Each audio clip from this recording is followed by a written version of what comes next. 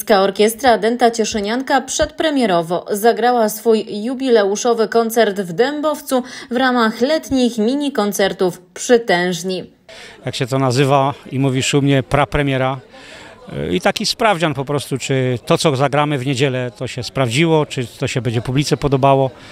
No, z reakcji publiczności widzimy, że, że koncert jest, jest dobry, no i już można powiedzieć przygotowany na dobrym poziomie. Półtorej godziny bitej muzyki mamy przygotowane, no i to jest, prawda jest taka, że dołączą jeszcze do nas instrumentaliści, e, którzy zagrają kilka utworów e, solowych, skrzypce, ksylofon, e, jeszcze kolejna dziewczyna z wokalem, taką wiązankę w stylu góralskim mamy przygotowaną, także troszeczkę się będzie działo. No publiczność zadowolona, co było widać, a pan zadowolony? Wszystko było tak, jak miało być? Ja już nie wiem, który dyrygent to powiedział, ale to oczywiście było z, z muzyki poważnej. Też pani dziennikarka zapytała e, maestro, czy koncert się podobał, czy jest zadowolony. A on tak po dłuższej zadumie powiedział, gdybym był zadowolony w pełni, to bym połamał batutę i już więcej nie dyrygował, bo już by to nie miało sensu. I ja to samo dzisiaj mówię. Ja oczywiście jestem bardzo zadowolony z tego koncertu, ale zawsze można coś poprawić. Powiedzmy jeszcze o tym, bo koncert koncertem, ten półtora godzinny program, to wiele prób, wiele przygotowań i to pandemia to nie czas stracony, wypracowaliście i ćwiczyliście.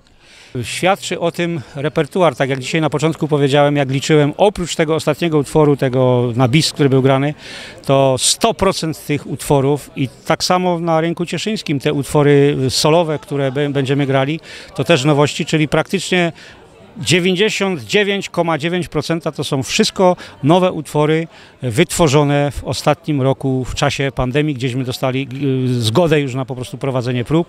No i staraliśmy się, no i żadna próba nie została stracona. No i myślę, że efekty było dzisiaj słychać. Bo to nie tylko orkiestra, bo to nie tylko instrumenty, ale to też wokal i to warte podkreślenia, wprowadzacie nowości. To kiedyś było jak pierwszy koncert, żeśmy grali w Czeskiej Republice, z jedną wokalistką wystąpiłem, no i tak troszeczkę według mojej opinii nie było to na takim poziomie, jaki to powinno być. Ja też mam jakieś wymogi, które muszą i muzycy, i wokaliści spełniać. No i to takie, taka była dla mnie lekka porażka. No i dalej drążyłem, dalej drążyłem i dzisiaj mogę powiedzieć, że dzisiaj mieliśmy już czterech wokalistów, no ja piąty, no i mamy jeszcze szóstą wokalistkę, która wystąpi już na święcie, na tym święcie, na tej dziesięciolecie Cieszynianki. No i, i, i ciągle się to rozwija. Już mamy dwie kolejne wokalistki, które przyjdą na koncert. Bo ja to tak mówię, no kiedyś tam mi ktoś zarzucił, że jestem takim, takim, takim łowcą, że szukam. No ale na tym to polega, na tym to polega. No i znalazłem znowu takie dwie dziewczyny, które no przyjdą posłuchać, no i zobaczymy, czy będzie współpraca, czy nie będzie współpracy. No tak samo w orkiestrze, jeżeli by przyszło dzisiaj kolejnych 20 osób do orkiestry, to ja bym wziął 30 osób. To, to nie jest ograniczenie tylko, że taki jest ograniczenie.